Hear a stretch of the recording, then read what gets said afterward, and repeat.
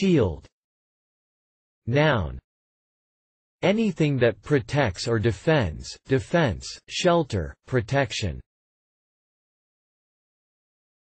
Shield Noun a shape like that of a shield, usually, an inverted triangle with sides that curve inward to form a pointed bottom, commonly used for police identifications and company logos.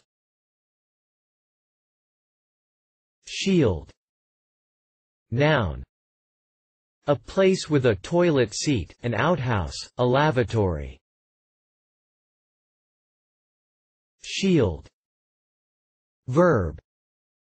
To protect, to defend. Reference